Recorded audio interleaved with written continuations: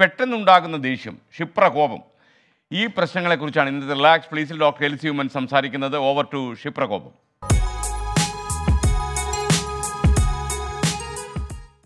പുരാണങ്ങളിലെ പ്രസിദ്ധമായ മുൻകോപിയും ദുശാഠ്യക്കാരനുമായ ഒരു മഹർഷിയാണ് ദുർവാസാവ്. നമ്മിൽ ചിലരെങ്കിലും ഇദ്ദേഹത്തെ പോലെയാണ്. ശപിച്ചാൽ ഭസ്മമാകില്ല എന്ന് മാത്രം.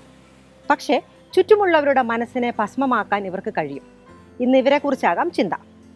ശാഠ്യം പിടിക്കുക എന്നത് കുട്ടികളുടെ വളർച്ചയിലുള്ള ഒരു ഘടകം തന്നെയാണ്. കാരണം കുട്ടിക്ക് തന്റെ വികാരം പറഞ്ഞ് ഫലിപ്പിക്കാൻ കഴിയാത്തത് കൊണ്ട് ഉണ്ടാകാവുന്നതാണ് ഈ ശാഠ്യം പിടിക്കൽ എന്ന് മനഃശാസ്ത്രജ്ഞന്മാർ പറയുന്നു. എന്നാൽ കുട്ടികൾ ഭാഷ സ്വായത്തമാക്കി കഴിയുമ്പോൾ ക്രമേണ ശാഠ്യം പിടിക്കുന്നത് നിർത്തി കാര്യങ്ങൾ അവതരിപ്പിക്കാൻ പഠിക്കുന്നു. എന്നാൽ ഇതേ നിർബന്ധ ബുദ്ധി പ്രായമായവരിലും കണ്ടെത്തിയാൽ മർക്കടമുഷ്ടിയെന്നോ ദുശാഠ്യമെന്നോ മുൻകോപമെന്നൊക്കെ ഇതിനെ വിളിക്കാറുണ്ട്. ചെറിയൊരു അളവിൽ ഇതെല്ലാവരിലും ഉണ്ട് താനും. ഇത്തരം ദുശാഠ്യവും നിർബന്ധ ബുദ്ധിയും കലഹവും വ്യക്തിബന്ധങ്ങളുടെ തകർച്ചയിലേക്ക് നയിക്കുന്നു. മിക്കവാറും ദുശാഠ്യങ്ങൾ വ്യക്തിത്വ വൈകല്യം കൊണ്ടോ കുട്ടിക്കാലത്തുള്ള എ ഡി എച്ച് ഡി എന്ന പിരിപിരിപ്പ് രോഗത്തിന്റെ തുടർച്ചയായോ വന്നതാകാം. ഇത്തരം ദുശാഠ്യങ്ങൾ ഉള്ളവർക്ക് തങ്ങളുടെ ചുറ്റുമുള്ളവരെ നിയന്ത്രിക്കുന്നതിനുള്ള ഉപാധിയായി അവർ ഇതിനെ കണക്കാക്കുന്നു. എന്നാൽ ചിലപ്പോൾ ചില കാര്യങ്ങളെ മറച്ചു മറച്ചുവെക്കുവാനോ പറഞ്ഞു വരുന്ന കാര്യങ്ങളിൽ നിന്നും ശ്രദ്ധ തിരിച്ചുവിടുവാനോ ലജ്ജയോ ഭയമോ പേടിയോ മറയ്ക്കുവാനോ ഉള്ള ആയുധമായോ തങ്ങളിലേക്ക് മറ്റുള്ളവരുടെ ശ്രദ്ധ തിരിക്കാനുള്ള ഉപാധിയായോ ദുശാട്ട്യക്കാർ ഇതിനെ മാറ്റുന്നു. ലഹരി വസ്തുക്കളുടെ അമിതമായ ഉപയോഗവും ഒരുപക്ഷെ ദുശാട്ട്യത്തിനും കലഹത്തിനും കാരണമായേക്കാം. എന്തു തന്നെയാണെങ്കിലും ദുശാട്ട്യവും കലഹവും ഒരുവന്റെ അന്തസ്സിനെ ഇടിച്ചു കളയുന്ന ഒന്നാണെന്ന് മനസ്സിലാക്കാതെ പോകുന്നവരാണിവർ മുതിർന്നവരിൽ ഇത്തരം ശാഠ്യം ഒന്നുകിൽ വാക്കുകൾ കൊണ്ടോ പ്രവൃത്തികൾ കൊണ്ടോ അല്ലെങ്കിൽ രണ്ടും കൂടി ഒരുമിച്ചോ ഉണ്ടായേക്കാം. ഇത് തങ്ങളുടെ പ്രതികൂല വികാരങ്ങൾ ഉൾക്കൊണ്ട് നിയന്ത്രിക്കാൻ കഴിയാതെ സ്വയം പൊട്ടിത്തെറിക്കുന്നതായിട്ടാണ് മനഃശാസ്ത്രജ്ഞർ കണക്കാക്കുന്നത്. ഇത്തരം പൊട്ടിത്തെറികൾ നാം ടെൻഷൻ കൊണ്ടുള്ള ക്ഷിപ്രകോപം എന്ന ഓമന പേരിട്ട് വിളിക്കാറുണ്ടെങ്കിലും അത് ചുറ്റുമുള്ളവർക്ക് വരുത്തുന്ന മാനസിക ആഘാതം വലുതായിരിക്കും. ഇനി ഇത്തരം സാഹചര്യങ്ങളിൽ നാം എങ്ങനെ നേരിടണം എന്നതിനെക്കുറിച്ച് പറഞ്ഞ് അവസാനിപ്പിക്കാം. സത്യത്തിൽ പൊട്ടിത്തെറി ഉണ്ടാകുന്നത് ഒരു നിമിഷം കൊണ്ടാണെന്ന് നമുക്ക് തോന്നാമെങ്കിലും അത് സാവധാനം പെരുകി വന്ന് പൊട്ടിത്തെറിക്കുന്നതാണെന്ന് സൂക്ഷ്മ നിരീക്ഷണം നടത്തിയാൽ നമുക്ക് മനസ്സിലാക്കാവുന്നതാണ്. അതുകൊണ്ട് സഹവസിക്കുന്നവർക്ക് ഇത് പെട്ടെന്ന് മനസ്സിലാക്കിയെടുക്കാൻ പറ്റുന്നതാണ് എന്നതാണ് സത്യം.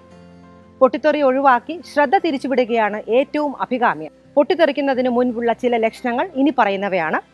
ഈർഷ്യത കൈകൂട്ടി തിരുമുക അസ്വസ്ഥമായി ഉലാത്തുക മുഷ്ടി ചുരുട്ടി പിടിക്കുക മുഖത്തെ ഭാവവ്യത്യാസം വരിക സംസാരത്തിൽ ശബ്ദവും വേഗതയും വർദ്ധിക്കുക എന്നതൊക്കെ ഇതിന്റെ പ്രാരംഭ ദിശയായി കാണാൻ കഴിയും.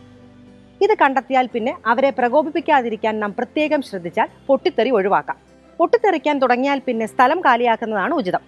നമുക്ക് വിഷമം തോന്നാതിരിക്കുന്നത് നമ്മുടെ മാനസികാരോഗ്യത്തിന് ഉത്തമമായതിനാൽ നാം നമ്മുടെ ശ്രദ്ധ മറ്റു കാര്യങ്ങളിലേക്ക് ഡൈവേർട്ട് ചെയ്ത് വിടുകയാണ് ഉചിതം.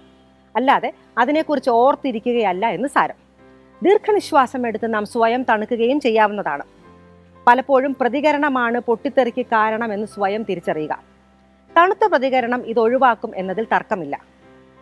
എന്നാൽ ഈ പൊട്ടിത്തെറിക്കുന്നതും കയ്യിൽ കിട്ടുന്നത് എടുത്ത് നശിപ്പിക്കുന്നതും ഒന്നും അത്ര നല്ല കാര്യമല്ല എന്ന് ചെയ്യുന്നവർക്ക് കൂടി തോന്നിപ്പിക്കണം. ഇത് സഹവസിക്കുന്നവരുടെ കടമയാണ്. അതുകൊണ്ട് അവർ തണുത്ത ശേഷം നാം ഇതിനെക്കുറിച്ച് സംസാരിക്കുക തന്നെ വേണം.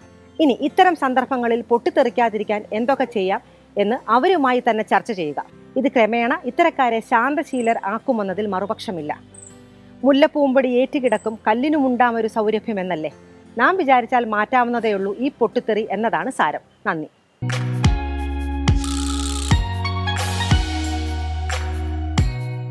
പ്ലീസുമായി നമുക്കൊപ്പം ചേർന്ന ഡോക്ടർ എൽ സി ഉമ്മനാണ്. നിങ്ങൾക്ക് തീർച്ചയായിട്ടും അവരുമായി ബന്ധപ്പെടാൻ doctor L C Oommen at gmail dot com എന്ന ഇമെയിൽ ഐ ഡി ഉപയോഗിക്കാം. എറണാകുളത്തെ കൺസൾട്ടന്റ് സൈക്കാട്രിസ്റ്റാണ് ഡോക്ടർ എൽ സി ഉമ്മൻ. ലോകത്തെവിടെയായാലും ഏത് സമയത്തും ട്വന്റി ഫോർ വാർത്തകളും ഓഗ്മെന്റഡ് റിയാലിറ്റി പാക്കേജുകളും എക്സ്പ്ലെയിനറുകളും വിശദമായി കാണാൻ ഞങ്ങളുടെ യൂട്യൂബ് ചാനൽ നിങ്ങൾക്ക് സബ്സ്ക്രൈബ് ചെയ്യാം.